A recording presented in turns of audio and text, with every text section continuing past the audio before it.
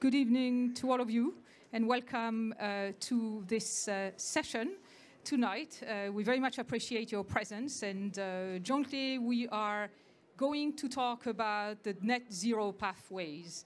Uh, and the whole challenge here is to move from aspiration and commitments to action and results, and that's what we'd like to focus the discussion on. So let me uh, bring a little bit of context to that. Um, many countries obviously uh, are submitting enhanced uh, 2030 NDCs to the UNFCCC ahead of uh, COP26 in Glasgow. And uh, I think there's a general re recognition of the urgency for climate action. In support of the long-term goal, 121 countries have now pledged to reach net zero carbon emission by 2050 or around then. And many of these are stepping up their 2030 plans to align with this target. And yet, for this to happen, deep and unprecedented, really, transformations are needed in each one of the key systems that enable life on Earth, at least for humans, uh, as we know it, right?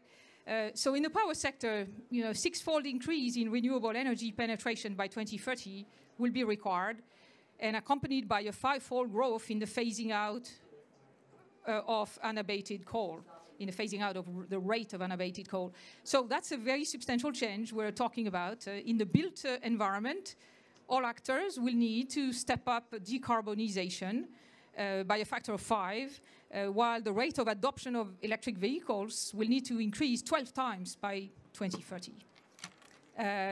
In the area of uh, forestry, tree cover gains will need to increase five times, and deforestation will have to come to a complete halt also by 2030. Uh, and when it comes to soils, uh, a significant regeneration of organic content in soils will be necessary for agricultural productivity to keep up with uh, rapid population growth and it will need to be coupled with substantial changes in dietary and consumption patterns. So, um,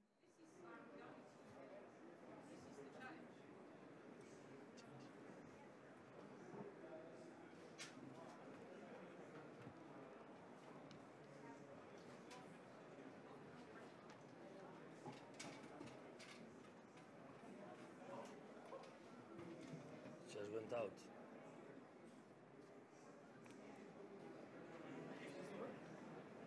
Should be working. This one, yes. Take it.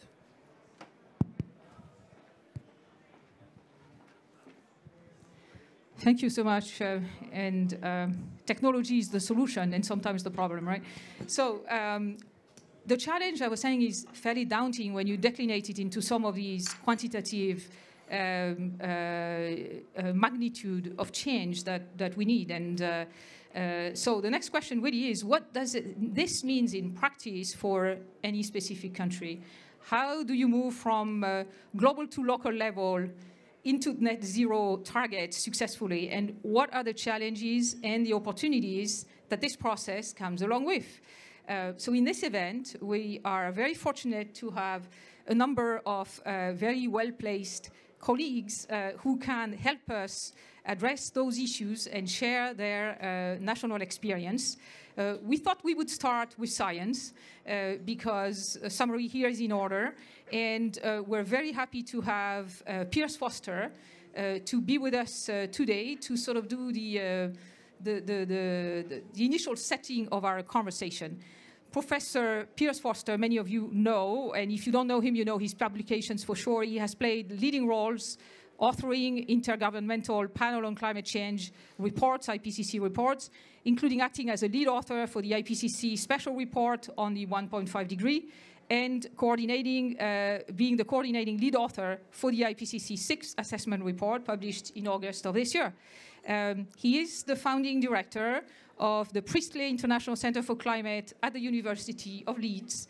And uh, the Priestley Center is dedicated to research and innovation on inter interdisciplinary climate solutions.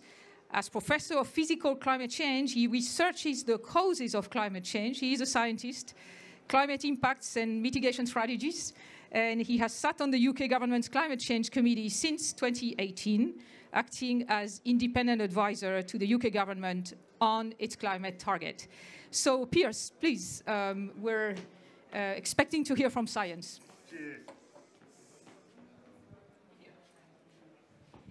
Well, it's fantastic to be here this afternoon, and I think we're all doing very well, and can can can welcome you to the United Kingdom as well. Um, okay, yeah, I thought I would just just just begin with this little film from Canada that was taken earlier this year, in fact, when the temperatures got up to nearly kind of, kind of 50 degrees, and there were a lot of people kind of, kind of, kind of died from the burning kind of town. Uh, uh, and this was an extreme of kind of climate that is being felt today, and this isn't in a developing country. This is in one of the world's most developed countries, and it is really. It it is, it is, it is, it is really affecting everyone, every, every everywhere. Um, so, yeah, uh, uh, and this is attempt to rise of 1.2 degrees, so we aren't even at that 1.5 degree target. Uh, uh, uh, uh, and our report was quite obvious that the extreme will get worse if the temperature continues to go up and up, and particularly the heat, the the the heat, the heat, the the heat waves, intense rainfall, and the drought changes will all will all accelerate. Um, uh, and that isn't the kind of worst of everything. That there are some changes that are today irreversible, and this, even if we get to our net zero targets and are able to stabilize the surface, surface temperature, some effects will continue. And, but, uh, uh, uh, and are the possibilities of perhaps very high levels of surface temperature, temperature change and coupled to that potentially several meters of sea level rise that occur after 2100. And, but, but I want you to get from this picture behind me that it's not the, the, these devastating effects we do see up here that are possible, they aren't necessarily going to occur because they depend on our actions as a society going further forward from where we are today. So, so if you look at the curve behind me, we really have the, the options to try and take the kind of bottom curves to keep temperatures toward one and a half degrees were kind of where we expect these abrupt changes might not occur. But if we, as soon as we go above that, things will get a lot worse. So it's up to us to plot that pathway from where we are today. Um, uh, yeah, and this just says that really, if we want to have those more positive out, outcomes and end up something near 1.5 degrees, we not only have to get to our net zero target, we have to have urgent, rapid and sustained reductions in emissions from where we are today, and it has to begin instantly, of course. Uh, um, but, but, but things have started to alter and things have started to kind of, change, in fact. Uh, uh, if you looked at the direction of travel where we were going back in 2010, we were probably heading for three and a half, kind of, kind of four degrees of surface temperature change, but that isn't where we are today. If you do look at where we are today, we're perhaps around 2.8 degrees with current kind of policies. Uh, uh, uh, uh, uh, and if you look at the latest report from the Climate Action Tracker website or the UNEP GAP report, it, it, if countries deliver on both the NDC targets and also on their net zero targets, we might end up closer to two degrees, and perhaps, yeah, just with all the targets today, we might even end up just below two. You know, so so so that would be fantastic. But but of but of course, this COP is not about setting the targets; it's about delivering on those targets. Uh, um, uh, uh, and just as was just as was kind of said so eloquently in your introduction, the the the solutions to those net zero goals are all quite similar. We have to imp, imp, imp, improve our energy efficiency, of course, and we have to reduce our energy demands. We have to have lots of renewable energy. We have to electrify our economies as much as possible, and we have to change agriculture and land use from being a net source of greenhouse gases into a big net sink of greenhouse gases. Um, but, but, but, but, but so the solution we need to get to are all very similar for the different countries, uh, and they can bring lots of good co co benefit for new job opportunities, the kind of the kind of health and wealth of our societies. But although the solutions are different, the delivery of those solutions will be different in every country, and we have to re really worry not only on where we end up, we have to worry about the transition to where we end up and the transitional risk involved with that, uh, and we have to uh, we have to we have to adapt ourselves, of course, too, to the extremes and things that will continue to get worse. So whatever we put in for our net zero infrastructure will have to be resilient uh, um, yeah, uh, and this was a really nice plot I put in for the current state of climate action. And this, this, this diagram does really indicate what we have to do over the next decade to accelerate the, the, the delivery of all the things we talked about, like the number of electric cars, the, the rate of building with wind turbines and all the other things we have to do. And this will have to be the decade of that rapid acceleration. Uh, um, I'm not a kind of finance expert at all, but I sit on the UK government committee that does have to deal with this. Uh, and I thought I'd give you one example where from our own country for the net zero pathways, where we have a net zero strategy in the in the UK, and we have gone through and kind of that. And of course, it takes a big upfront capital in investment in things like the car charging, the building infrastructure, and doing the carbon capture and removals.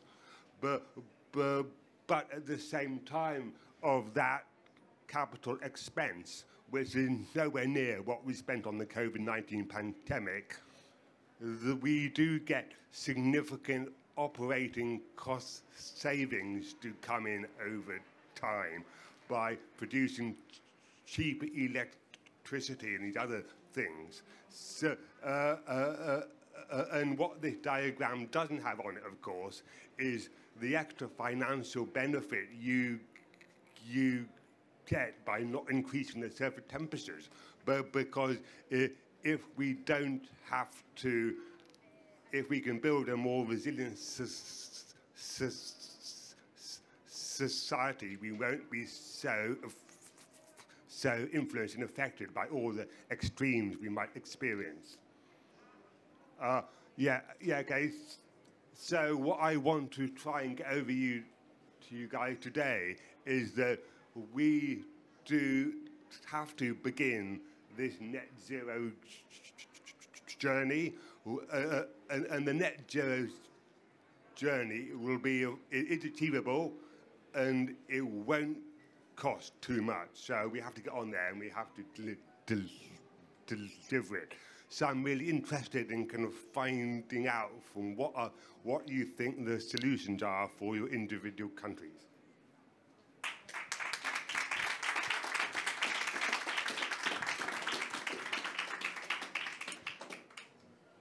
Thank you very much, Professor Piers Forster. You certainly have shared with us the, the hard lessons of uh, science here, and uh, we're certainly past the point of um, uh, having any space for doubt on this. Uh, we, I will retain also that you did give us some hope here. Uh, I mean, I heard you say, I think that with a decade of uh, rapid acceleration, and if we take seriously both the NDC targets and the net zero targets, we could, even if we miss the 1.5 degree target, uh, be in uh, a sporting chance with the two degree, right? So uh, that's the that's the context, and I think it brings us straight back to implementation here, because uh, we know that uh, it is very difficult to get to that um, uh, collective action. So let me maybe I, I, know you may want to ask questions from. Um, Professor Piers Forster will have a chance later, but I um, know that our second speaker, Damilola Ogunbiyi, has to leave us. Uh, we're privileged to have you tonight, and so well, maybe we'll take a chance for question after her uh, intervention. So um, please join us on stage. Thank you. Damilola Ogunbiyi is the CEO of Sustainable Energy for All, and also the special representative of the UN Secretary General for Sustainable Energy for All and co-chair of UN Energy. Uh, she's also a commissioner for the Global Commission to End Energy Poverty and the co-chair of the COP26 Energy Transition Council, uh, which plays an increasing role. She's a global leader and advocate for the achievement of Sustainable Development Goal 7, uh, which calls for access to reliable, affordable, sustainable, and modern energy for all by 2030, uh, in line with the Paris Agreement on climate change. And prior to joining uh, Sustainable Energy for All, she was the first female managing director of the Nigerian Rural Electrification Agency, uh, which is uh, quite a set of, of uh, achievements. So, um, Damilola, uh, with this uh, uh, incredible uh, background and experience, uh, we're very interested in hearing your views on the energy sector. I would not ask questions about anything else at this point. Uh, the energy sector remains the largest contributor to global emissions. Virtually all countries have included energy generation, energy efficiency, and access within their national NDCs and decarbonization strategies. Can you elaborate on the type of systemic transformations that are required in the energy sector to achieve net zero? And what type of support is most needed from financial mechanisms such as us, the GEF, right? Um, so thank you very much for having me. I'm not going to go delve into the science because I think Professor Forster did a really great job on what we have to do. And then I also believe that if you didn't believe we needed to get to net zero, none of you will be here today. I want to take a different angle on energy. Um, a lot of the presentations and a lot of things we've seen today has been focused on how we're going to reduce energy. And I want to focus on the billion people who don't have energy and are actually in energy poverty as we speak. So today in the world, we have 759 million people who have no access to electricity at all. So they can't be here, they can't live stream, they can't do all those nice things. And we have 2.6 billion people that have no access to clean cooking. And these are people you can't stay, just stay at home. So while we, we focused on reduction, there's also another energy story, and that is the story of energy access, and it has to be part of the transition story. So yesterday we heard President Modi um, with his net zero 2040, um, 70 agree, um, conversation, which really means they are going to get out of coal. We had my president today, Nigeria, saying they're going to have a 2060 target. Um, if you don't know Nigeria, it's the largest oil and gas nation, responsible for 90% of GDP, oil and gas. So that's huge. And the discussion we'll be having today is how do we help those countries reach those targets, right? Because the developed world knows what to do if we're going to be perfectly honest. And they always seem to find money in six months, 15 trillion for COVID when there is no money. Um, but the developing world needs help. So back to an example of my country, Nigeria would need something about 400 billion above business as usual spending to get anywhere near net zero by 2060. Where's that money going to come from? How do you explain that this is beyond the power system? You're electrifying the whole economy. So that's transport, agriculture, waste. You're actually getting a different way of thinking. So it's beyond car charging points, right? It's even getting people to think of electric cars being viable and have enough electricity to, to even live. So what I wanted to bring on the table is that we know we have to transform our energy systems in the developed world. We also know in the emerging economies, but the developing countries are very key because you have people that can still go dirty. Like just because there's no these big coal-fired power plants in some of these regions doesn't mean they can't come if they can't find anything um, different. And I just wanted to, you know, plead with your organization as well that when we think about climate and we think about climate mitigation, there's no bigger mitigation than giving people cleaner energy to start off with. So they're not even thinking about transitioning. And that's where we really have to come to as a society. We have to focus on giving clean energy to start, clean energy for industry, clean energy for gender, clean energy for economic growth, which is not the barest level of energy access all the time. So we're not coming back to these countries in 20 years' time and spending 10x the amount of money getting them to transition. Um, so thank you for having me. I hope I bring another context into the conversation. And I, I'm sorry I have to leave, but really welcome you guys getting in touch with us at Sustainable Energy for All if you'd like to know anything more about what we do. Thank you very much.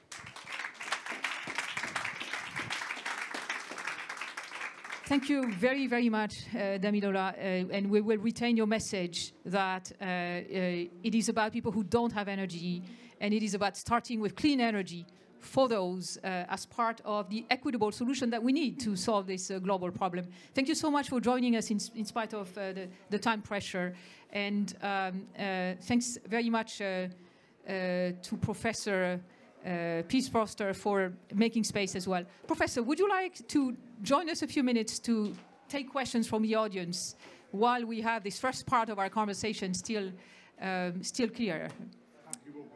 I thought she was very good. You ought to ask her questions more. uh, so, any questions uh, for the professor?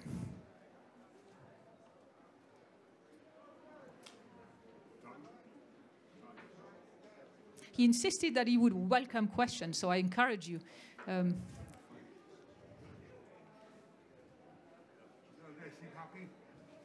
All right. I think he was he was extremely clear, and uh, as uh, uh, Damilola said, I mean, probably you are all past the stage of having questions about the science of this, in fact, right? Because we all know that it's about the implementation and how do we get to make it work. So let me invite, uh, in that case, our next speakers. Thank you very much. Don't, ever, kind of, don't ever forget about the science, though, guys. We still have to. Uh, well, what I would say that, that it can really support the transition. It, it, can it can really try and make sure that you have those res, those resilient infrastructures and you do take the best options for your particular country. So, so I think it's good to Excellent, prof excellent professor, and thanks very much for your contribution. Uh, the, the reports that you have authored and co-authored certainly have contributed massively to get us to consensus on, on science itself. So uh, thanks very much. And let us move to the second part of this uh, conversation tonight, where we have the pleasure of being joined by three ministers and vice ministers who I'm now inviting to join us uh, on uh, on the stage, uh, starting with um, Minister Simon Stiell, uh, Minister of Climate Resilience and Environment of Grenada. Oh,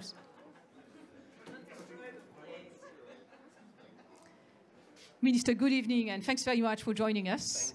Uh, I will also call on stage uh, um, Minister Andrea Meza, who's the Minister of Environment and Energy for Costa Rica. Thanks for joining us, Minister Meza. And I will invite uh, Minister Nicolas Galarza Sanchez, who's the Deputy Minister for Environment and Sustainable Development in Colombia. Uh, Vice Minister, join us. Thank you very much. Um, so this is our, uh, the second part of our discussion tonight, and it has very much to do with the actual national level of intervention with which we hope to get to the objectives discussed.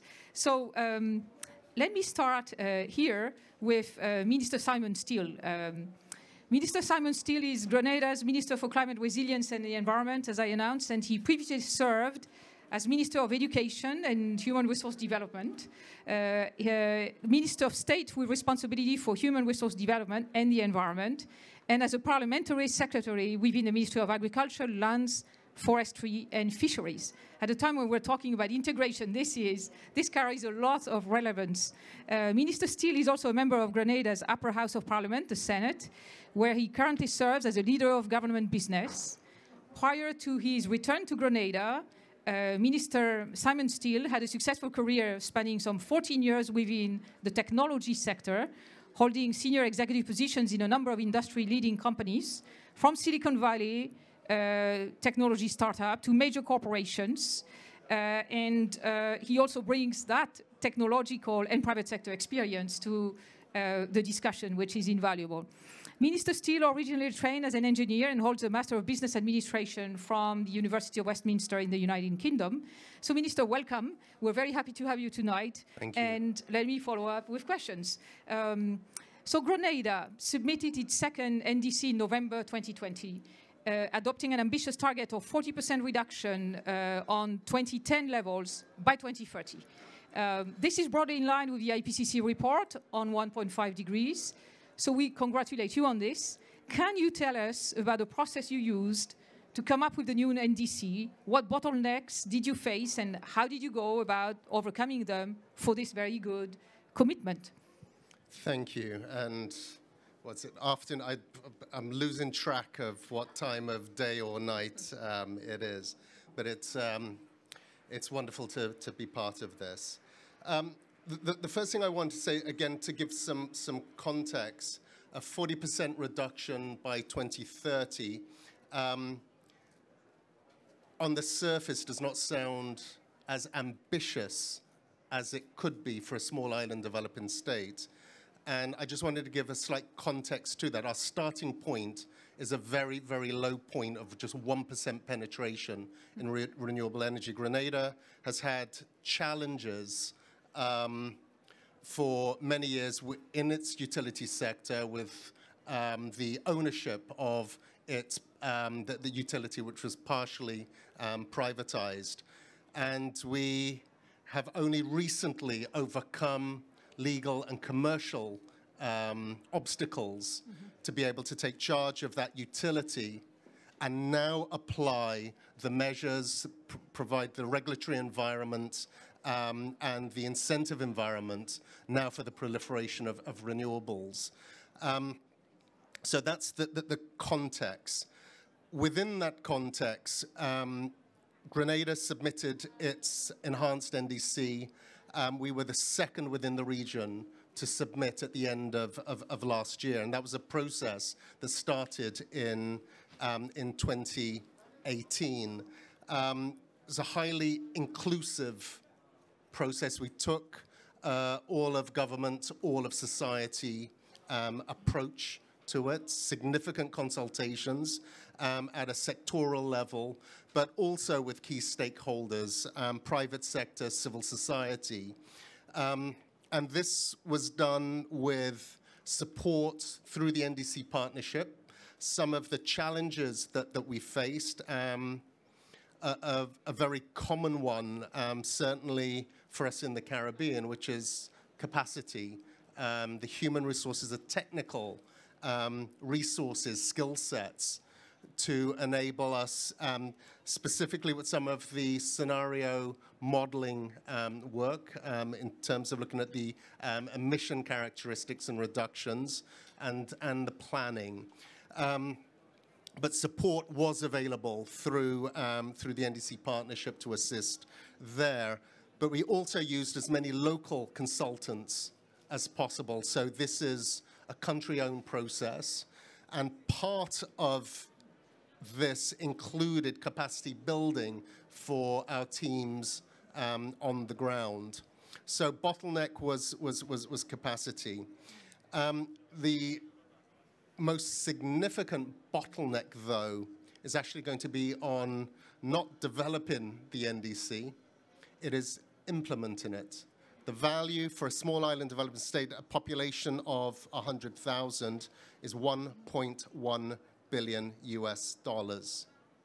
So the question is, how do we finance that? We have a great plan, and we're working with some great partners. Um, in addition to the targets set within the, um, within the NDC, we're also working with UN Environment, um, Rocky Mountain Institute, looking at how we can accelerate um, elements, um, certainly on the energy um, energy piece. The other areas covered are transport, waste, forests, and industrial processes, which are, which are negligible cooling um, processes. Um, so the greatest challenge and the greatest inhibitor for us is going to be how do we actually turn this piece of paper into real action? And that is where support from our donors, our development partners, is so critical. And we're here at COP and the pressure that is on developed nations to deliver on that $100 billion and um, ease of access to that um, is is central to that. Thank you very much, uh, Minister, and I very much retain what you said about inclusion as as um, uh, as a vector of positive change, right? And capacity constraint as, as one of the main challenge here. It's very interesting for us to have through you the perspective of uh, a small island country or a large ocean nations because it comes together.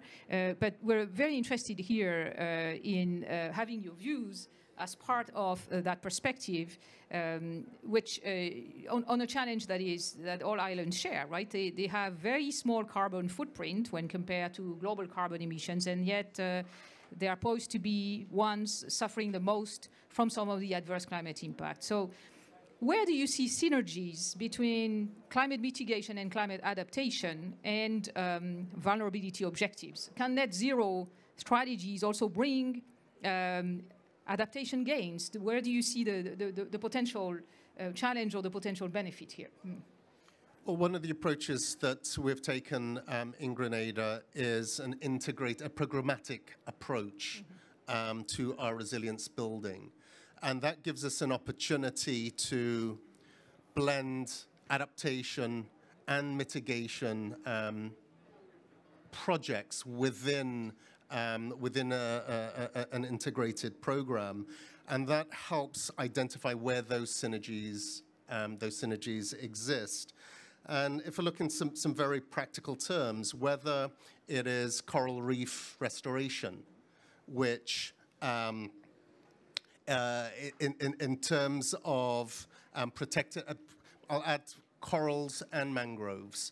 So the, uh, the uh, carbon capture benefits um, that are, whether it's from a healthy ocean, whether it is from, um, from reforesting, um, but then in terms of protecting our shorelines, and we know how critical um, healthy coral reefs and mangroves are for the protection of our um, our uh, coastal areas with um, the impacts of sea level rise, storm surges, um, etc.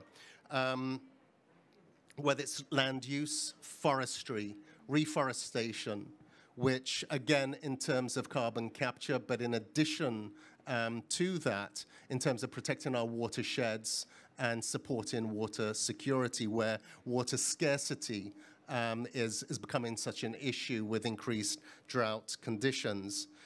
The area of um, agriculture and climate agriculture, um, climate smart agricultural practices, which enable us to adapt to the changing conditions, um, supporting our efforts to improve food security, but also practices that are environmentally um, sustainable and, and, and, and, conscious.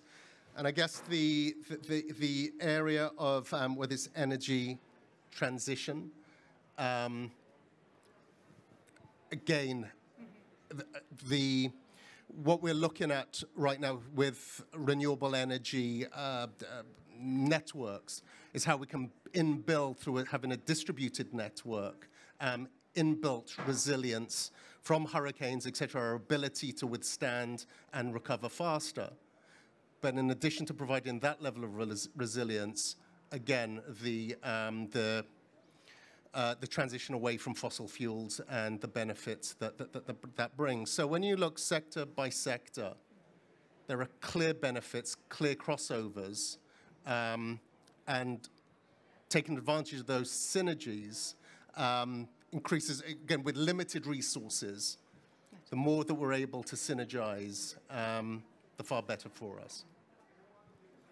Thank you very much, uh, Minister. Uh, very interesting answer around um, having, having a thoughtful and programmatic approach to resilience, where you look for these synergies, essentially, right? Uh, and, uh, and there are many, as per the list you just provided us with, uh, when you think about it. I mean, there are many, and they are, have to be part of all of our plans. Thank you very much. we'll um, keep you for further questions, if that's, if that's um, uh, agreeable. And let me turn to Minister Andrea Meza, who's the Minister of Environment and Energy for Costa Rica. Um, Minister Meza is an expert in sustainable development with more than 20 years of experience in formulating public policies and executing projects. She has worked in more than 15 Latin American countries in multidisciplinary projects financed by various multilateral organizations, IDB, the World Bank, CAF, European Union, UNDP, uh, or bilateral, IC, then GIZ and uh, national governments. So, uh, Minister Meza, uh, you are now leading the environment and energy sector for one of the countries with the most uh, spectacular track record. And uh, we're um, very interested in hearing more about your experience. So Costa Rica is seen as a, as a global leader, and it comes to transitioning to a low carbon economy. This is partly thanks to the large uh, natural endowment that the country has, including large uh, hydroelectric generation capacity. But this is also, and maybe mainly, due to a coordinated effort to halt and reverse deforestation, um, move to a, a virtually 100% carbon-free electricity mix, and invest in low-carbon mobility. So Costa Rica's long-term decarbonization plan can be an example for many other forest-rich developing countries. Can you tell us about the key features of the plan and particularly about uh, what is relevant to other countries to consider, adopt, and promote? Thank you, and I'm so excited and honored to be sharing the panel with my friend and friends here. Um, and uh, with the decarbonization plan is basically our long-term strategy. And, um, and as the professor was saying, for us, it was also very important to recognize that we need the commitment to be zero emissions in 2050. So we developed the plan, and we are realized that it is to transform the whole economy. It's about that. It's not only one sector. It's about seeing the different pathways in that in powering, in transport, in waste management, in agriculture, and nature-based solutions. So it's it was really seeing, okay, what are the aspects that we need to transform if we want to have this goal achieved and be carbon neutral in 2050? And um, in the case of Costa Rica, yes, we have stopped deforestation, but we still are generating emissions from agriculture. And still we know that if we don't maintain um, these policies to protect nature, then deforestation can start again. So it's, okay, this is something that we need to maintain. Yes, we generate our electricity from renewables, but we're still using a lot of fossil fuels in the transport sector. So it's about electrifying the transport sector. And it's about what is the industry using? It's about electrifying the industry. So we are developing these and understanding then when we have a long-term vision, it doesn't mean that we are postponing our decisions. We need to start now. So the in the plan we have short-term, medium-term, and long-term measures. And this is very critical to understand because sometimes when we hear that we have long-term plans, some people think, oh, you are postponing your decisions. And that's really far from the reality. And this is the decisive decade. This is what we're saying. It's about really accelerating uh, the adoption of these new technologies. And it's an understanding also what's the benefit, the economic benefit of this, the social benefits of all these measures. So we also made a cost benefit analysis. And at the end, this is also good for our economy we generate benefits of for more than 40 billion dollars for the economy. So it's about it's about understanding that this is not an environmental issue, that this is an economic issue, that we can be generating jobs, and also we're doing right now some analysis to understand where, which, in which sectors we will be generating jobs yes, we can be losing jobs in some areas, and, and we need to understand that, that we need then to address a just transition. And I will say that um, it's about understanding that this is a development model, and that's why we are working with this whole of a government approach as well, and whole of society approach as well. And we bring this idea of, okay, which is the kind of direct investment that we want to bring to the country the one that it is aligned with these aspects, which are the kind of investments we can be prioritizing investments that are aligned with Paris Agreement, and it's about understanding that. Yes, cooperation is critical, but will never be enough. the 100 billion will never be enough to, we need to mobilize trillions of dollars this is about that, and we will be mobilizing public and private money, it's, and it's about understanding also that and generating the enabling conditions for this mobilization of public and private resources. So it's about, I think, with cooperation money normally, and we are doing this, for example, in the transport sector with uh, pilot in, in e-mobility with e-buses, understanding the data, uh, that this is good for for the operators, and they are seeing uh, that it is good for their for their economy, and then developing the model so they can do the scale up of this pilot. So normally what we see is that with the cooperation money, we do the piloting, but then we need to mobilize real investments, public and private money for that. And it's, I think it's also understanding that it's about generating the good um, environment for those investments. Thank you very much, um, Minister. And thanks for telling us, I, I, I, very much like that, that the uh, decarbonization plan is the strategy. It's not a strategy, it is the national strategy, right?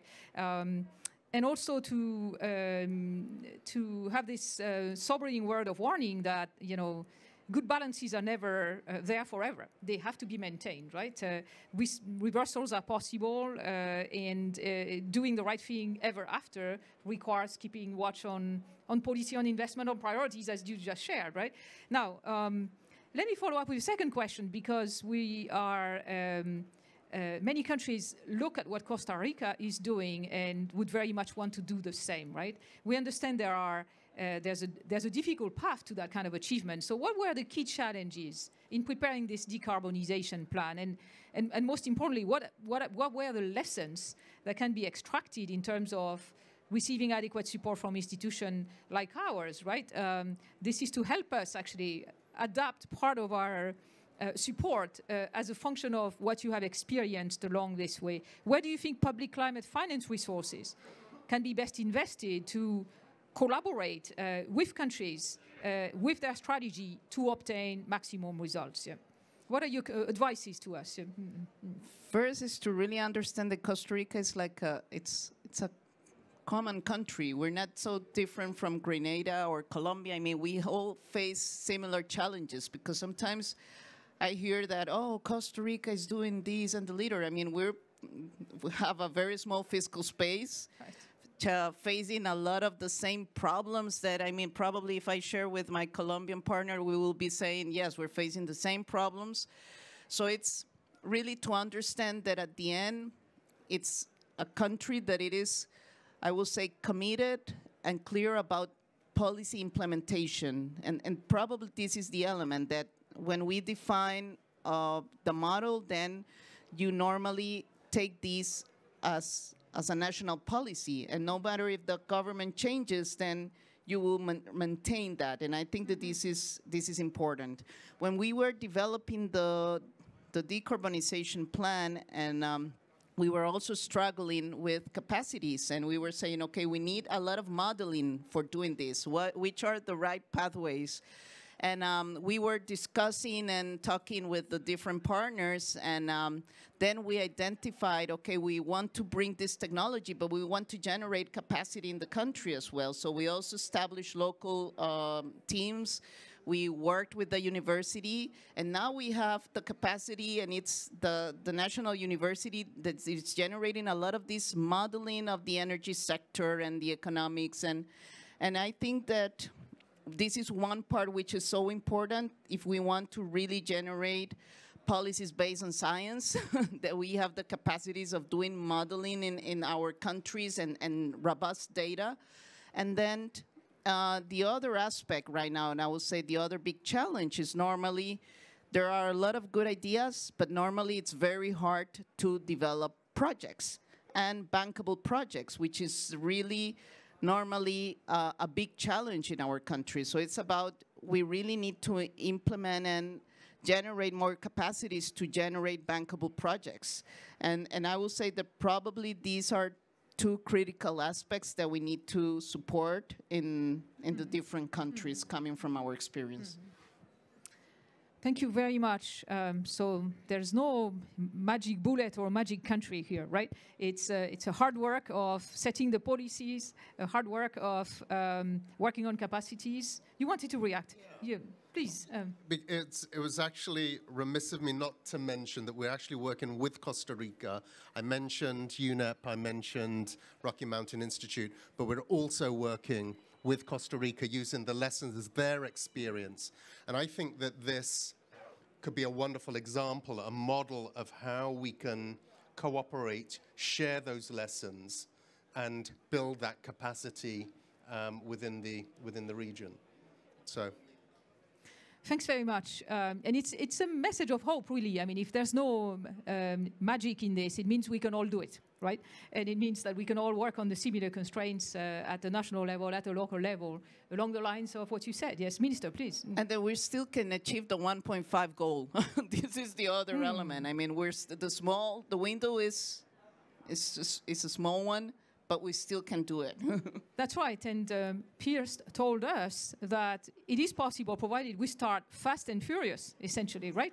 Uh, we, can't, uh, we, we can't really relax on this one if it is to happen, right? Um, very well, very well. Thank you very much. Uh, and uh, let me now um, uh, bring us to our uh, third um, panel member here, uh, Vice Minister Nicolas Galarza Sanchez.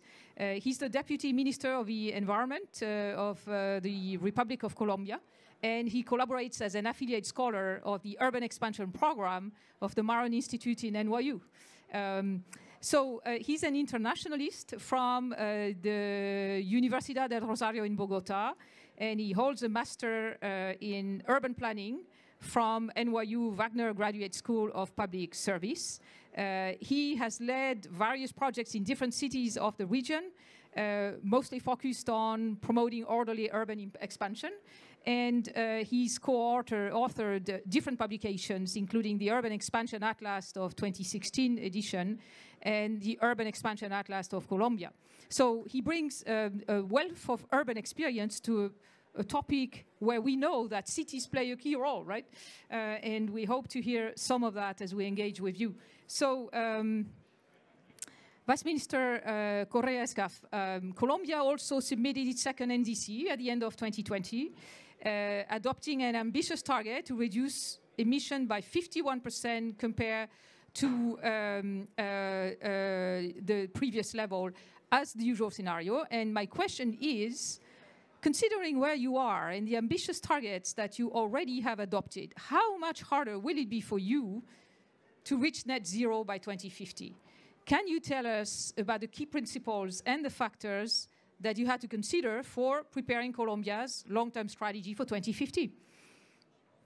Okay, thank you, and greetings to my panelists and everyone present here. Uh, so that was a two-part question, how harder, Yes. and uh, um, the factors that we considered. Uh, how harder? Well, it's going to be hard. You know, uh, we have to uh, acknowledge that, but that doesn't make it impossible, and uh, we need to remain uh, hopeful in many ways, particularly in space like this. You know, all the countries of the world come to uh, reach an agreement, and if we don't have a positive narrative, probably that's going to take a dent on the possibilities of reaching that agreement. Um, but we are committed, and I think that makes a lot of difference. We've uh, seen the leadership of different countries, and we uh, decided to take uh, to take our own. And uh, for that reason, you you did mention that we updated our NDC back in December last year. It seems like Grenada got us by a month.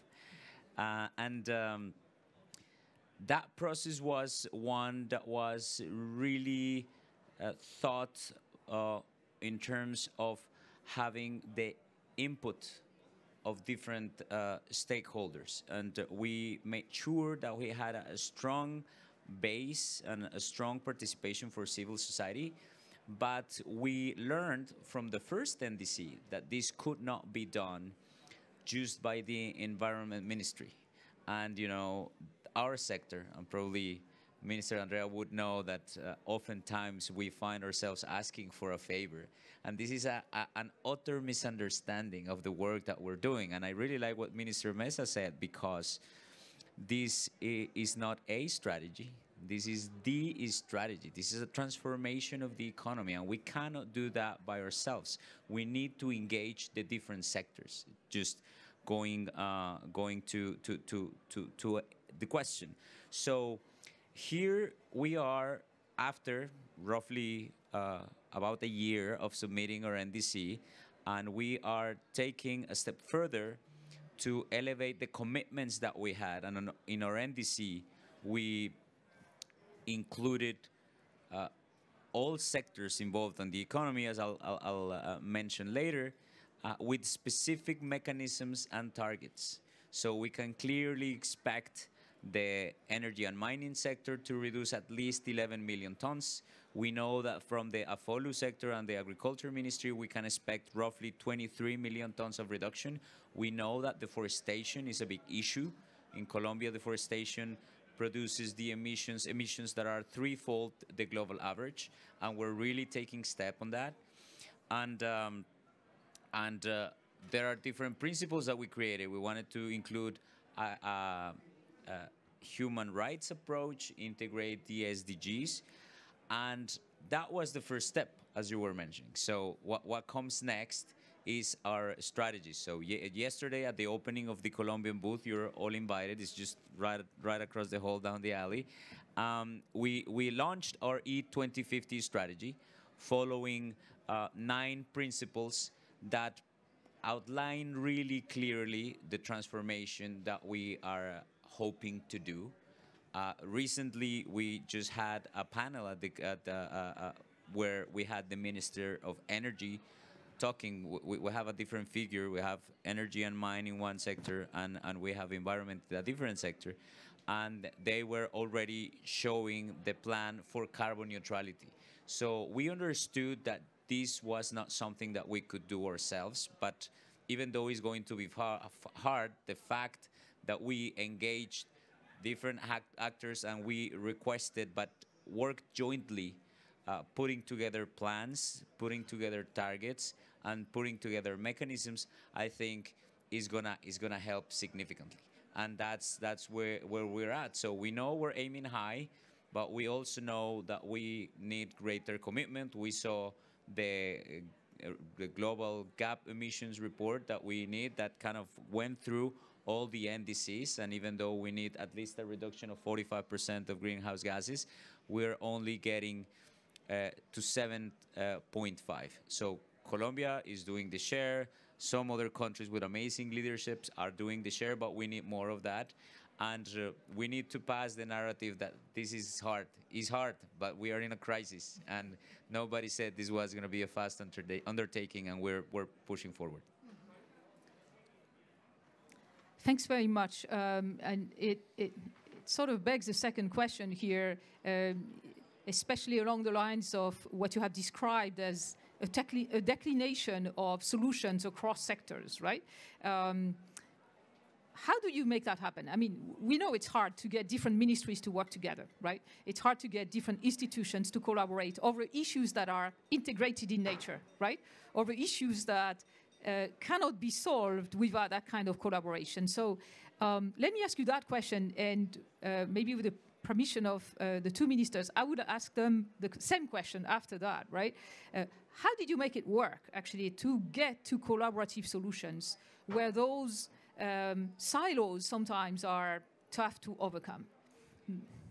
I, I think they, I, I, touched upon that briefly on, on the first part of the answer mm. that I gave, and that is something that I actually thought before joining as, as uh, uh, Vice Minister for the Environment. I used to lead the city uh, mm. program and the city department at the Ministry of Housing and Cities. And for a random reason, I ended up uh, being accountable for uh, the CO2 emitted by candles, which had nothing to do whatsoever with what we did, right? And uh, I, I, started inquiring why, and it's funny because I started inquiring to the people I, I, get to manage now, and and they they said, you know, we did that by ourselves. That was the first time around, the first NDC, and we, we learned the lesson. So you know, this is this cannot be an imposition of some technical teams thinking, you know, well, people that do not have electricity, and uh, Damilola was talking about that uh, and then that That's happens right. in houses, probably that should happen to the housing ministry. So it mm -hmm. cannot be random. It cannot be haphazard. And, uh, and that's how we, we started working with given sectors. I think it helps a lot, the fact that we had a climate, a, a climate change law on 2018, uh -huh. which gave us a governance structure that is very well thought of. Mm. And looking back, of course, uh, I think it was it was good and it helped a lot uh, for for this type for this type of exercise. We have an intersectoral commission, like a cross government uh, coordination section. The president is creating the climate change cabinet um, right now, uh, but that was created thinking th through that law. I think it gave us the basis. We've seen different uh, legislation throughout uh, Latin America where, where they they're kind of taking that step of creating the governance. Mm-hmm. And it, it, might seem obvious and people might disregard it as bureaucracy, but it really helps. And it takes time for it to work, but now having this structure, uh, a, a dedicated liaison uh, on, on every, every government, and the mandate, which was, I think, a key innovation on the legislation of 2018, was demanding a comprehensive uh, management plan for each given sector to climate change. Hmm. So the and, and, and, and is I think inspiring the fact that the first uh, and probably has a, a, a little bit uh, complicated to me is the fact that the first uh, sector putting the the comprehensive um, management plan for, for climate change was mining and energy. Hmm. And and then when I joined, and when when I was working at the housing ministry, I put out the second sectoral plan, the integral, the comprehensive uh, plan for climate change. And when I came to the Ministry of uh, for the Environment, I was like, okay, where is my comprehensive plan? And and we we had an, the outstanding uh, task, and and we're working on it, and we're we're getting all the all the other sectors to put the plan. But that that that kind of stuff helps. So now what we're doing with the new law, with the, we had a climate change law, now we have a climate action law, and the fact that we had that helps us put specific responsibilities and specific targets. And I think that's the basis of uh, us thinking what we're doing. And I think something that needs to go further, and, and this uh, with, with this I'll close, is engaging local governments. Of course, I you know I'm, I'm, I'm biased a bit because I come from the urban planning discipline, and, and I like to see cities engaged. And uh, in in our NDC, we have 196 uh, mechanisms, and 89 come from cities. Yet only five cities committed. So they're like it's very concentrated in a group of people, a, a- a group of cities, and we know that that can be expanded. So when you think that Colombia has 1,100 municipalities, I think there's a lot of uh, uh, leeway there to, to get more reductions on the mitigation front. And it's going to be hard again, but I think we, we can do it. And, and, and having that kind of specific detail shows the way and helps a lot to move the narrative forward. Thanks very, very much. I, I'm really glad I asked that question. You gave us a lot. Uh, so, um, climate change law, climate change action law, a steering committee across, uh, anchored at high level, right? It probably doesn't hurt that ministers are moving from critical sectors to critical sectors as well. Thanks very much. No, that's uh, extremely useful for others as well. Minister Meza, can I ask you the same question? Uh, wha- uh, what is it that uh, uh, very much helped in bringing together sectors, bringing together ministries and institutions when we know that they're not necessarily prompted to work together very easily. Yeah. First, when you have a president with, who is committed, this Well, is very helps. important. um, because um, I was the climate change director before um, being appointed as minister, and, and when we started with the previous government, for that president, it wasn't really a, a priority as it is for this president. So this has really um, facilitate a lot of this interaction. So you really need, you know, decision making, the high level champion there, very committed and requesting for this. And then also to generate and understand that it's about co-benefits. It's about when we talk to the Ministry of Transport or to that sector, it's not about emission reduction. It's about uh, enhancing the transport sector, the public transport sector. It's about um, making the public buses a better system. So it's it's another conversation, and it's the same in agriculture. It's an, it's not about um, reduction, emission reduction. It's about um, enhancing the way and productivity and delivering with this kind of notion. So it's about uh, enhancing also uh, the agricultural sector. So it is, I think, about a conversation of understanding that it's a transformation that can generate a lot of benefits, and if we can be very clear when we are having these conversations with the different sectors, then the conversation is uh, a lot easier. And the third component, I will say, is mobilization of resources. Right. At the end, this is the agenda that it is attractive to most of the donors and uh, for the cooperation um, community. So it's it's easier when you come with cooperation money and have this conversation with the different sectors.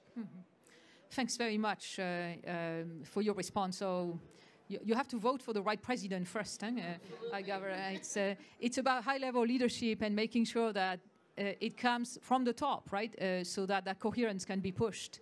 Then through technical um, means uh, all across uh, the, the the political and the uh, institutional spectrum. No, that's a very useful advice. Um, Minister, in Grenada. Um, how um, have you dealt with this natural challenge um, of getting cooperation going and getting coherence in policies to take hold? Mm, I think there are that there are four elements. So one is again, and this is a theme that's run throughout. It's about policies. So whether it's your climate change policies, um, energy policies, etc. Uh, but there are common linkages um, between them. We have. It's not a steering committee, but we have our national climate change committee, which is again takes that whole of government approach as representation from all of the key ministries within that committee.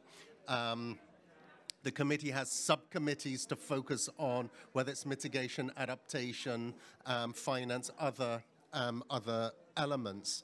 But the cohesion and the, the, the, the, the, skill sets that exist within that committee are critical. So within that committee, um, we have visibility um, with the different ministries and the, the, the different sectors.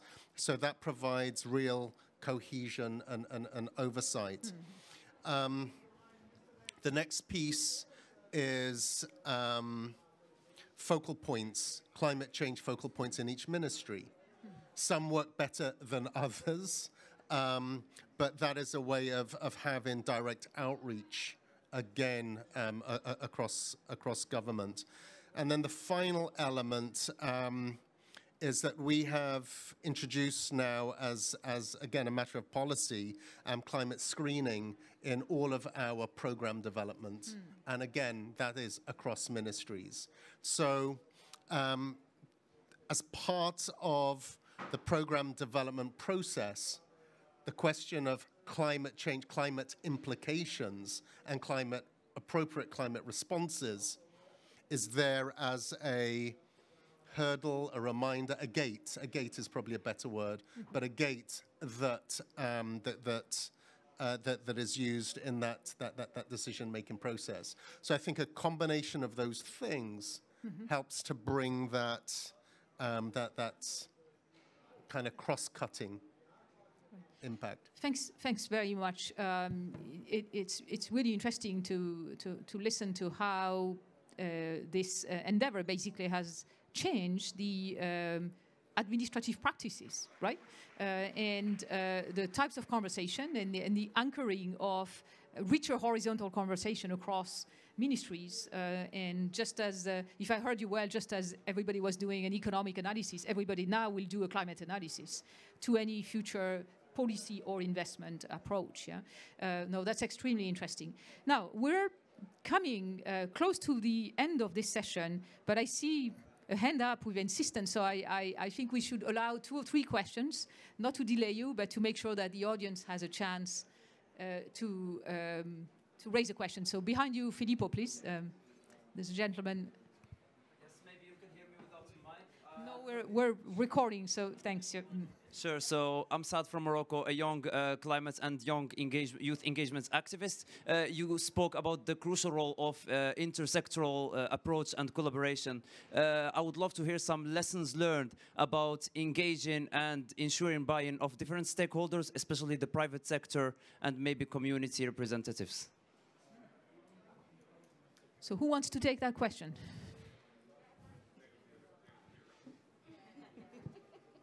A, a- simple answer from me: you cannot do enough of it. Um, I think that's that's the critical um, piece. It is engaging, engaging, engaging. Um, Grenada, w- w- w- we're a small country, um, so we have we know one another. Um, sometimes we have consultation fatigue because, again, it's some of the same faces that, um, that, that, that, you draw upon, whether that's in civil society, whether that's um, in, in the private sector. Um, but I the, the one point is you cannot do enough.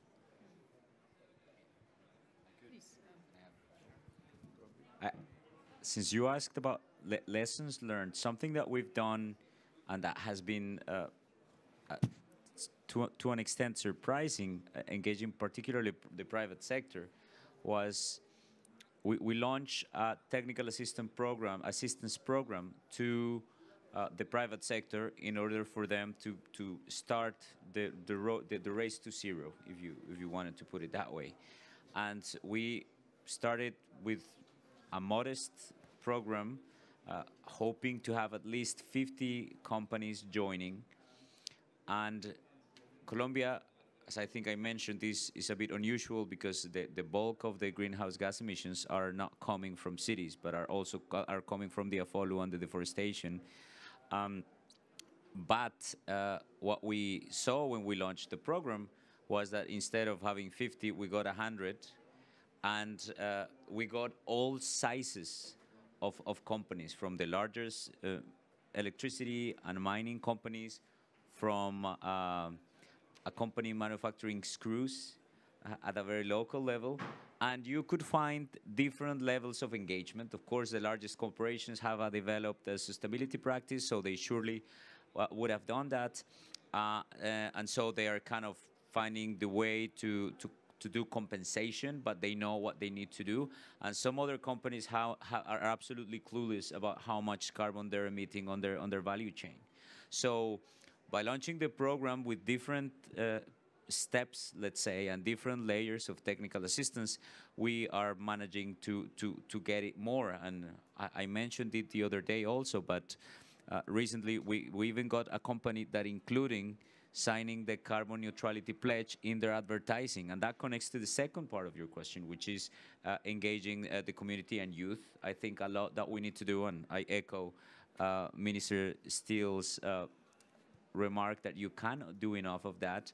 And I think it, in a lot of uh, uh, scenarios, it goes to basic education. I think we, you, we are at COP, we are uh, an educated uh, crowd, yet uh, I don't know how many of you have calculated the carbon, the carbon, uh, your carbon footprint, your individual carbon footprint. So, you know, th this is exactly the point that I wanted to make, is that you need to, uh, to engage the people, show them that this is, you know, this, this, we're not going to solve at the individual level if we bike to work every day. I'm, I'm, a, I'm a cyclist. I enjoy cycling around, but I'm not, I'm not naive. And, and we need to do that. We need to see how we're contributing to the problem and how the companies that we are uh, purchasing from are including sustainability in their practice, either the, the, the, dairy that we eat, the meat that we eat, the clothing that we eat. And, uh, and, and, and for that reason, we also have a program, something this, this has been around for decades probably, but helping people to calculate their own carbon footprint and to create a plan to do compensation. So that, that level, we can engage different levels. Thank you very much. Uh, we can take one more question.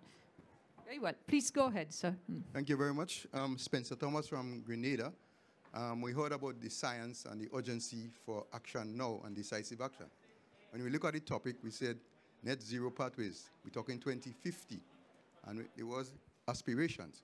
So my question is, how do we ensure that the, 20, the, the pathways of 2050 is not an incentive for action to not to take action now, and so that we will be able to, to meet the, the, the, um, the, the 1.5. Thank you. Very good question that speaks to the point that the professor shared with us earlier. It's about the itinerary, not just the target. Uh, uh, Minister Meza, you volunteered for an answer. Thank you. I think it's critical to understand that um, we need to develop short, medium, and long-term measures that we need, when we develop these long-term strategies and these long-term goals, we need to develop the plan. And this plan must include measures in these, in these aspects, which are the short-term measures, the medium and long-term measures, and the investments that need also to be implemented in short, medium, and long-term. I think that this is the only way that we can really be seeing the implementation of those long-term goals. Thank you very much, uh, Minister Meza.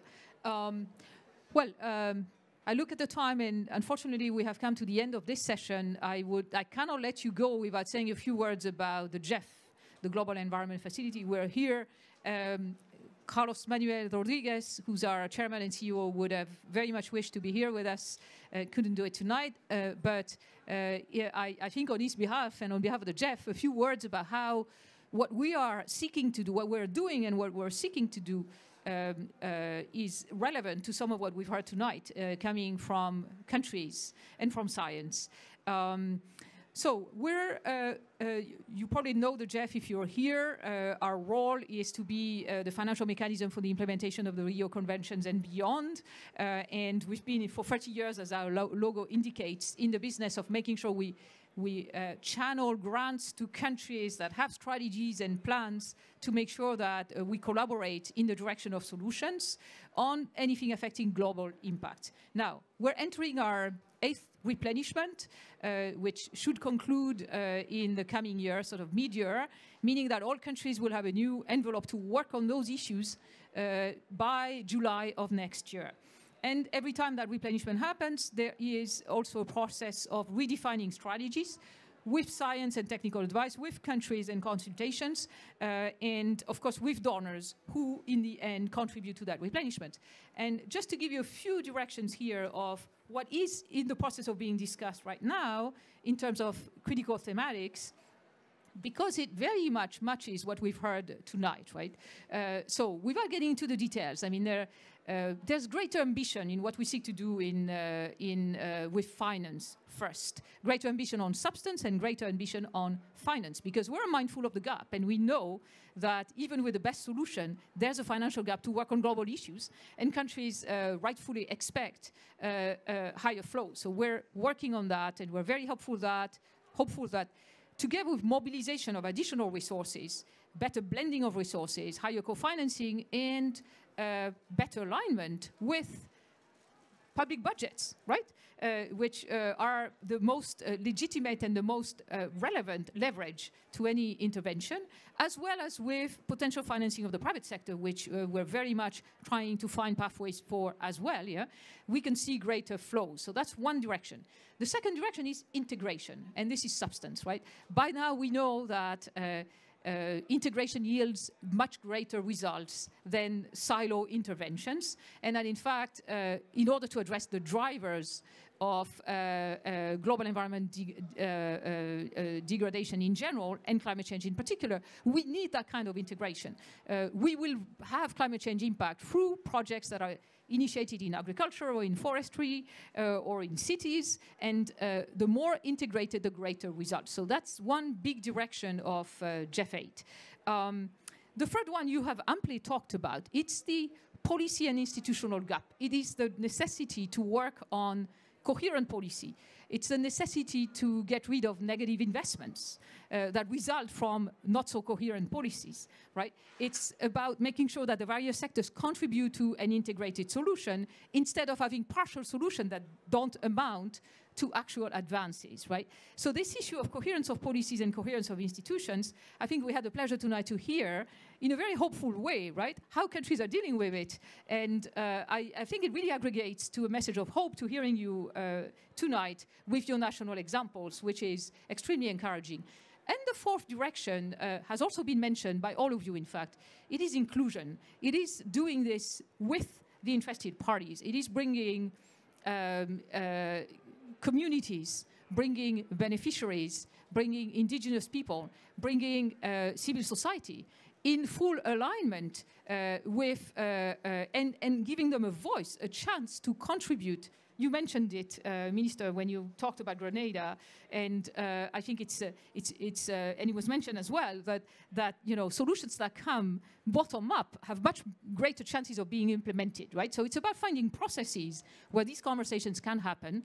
The GEF, of course, supports all of the above, and we support uh, by our policy and by our practices, we support an inclusive process to come up with projects to um, implement them and to oversee their implementation. And so all of these dimensions that we discussed tonight, integration, greater financial ambition, policy and institutional coherence and alignment, and inclusion are dimensions that we're bringing to GEF 8, and we hope to contribute uh, uh, to play a role in uh, the facilitation of some of these hopeful process.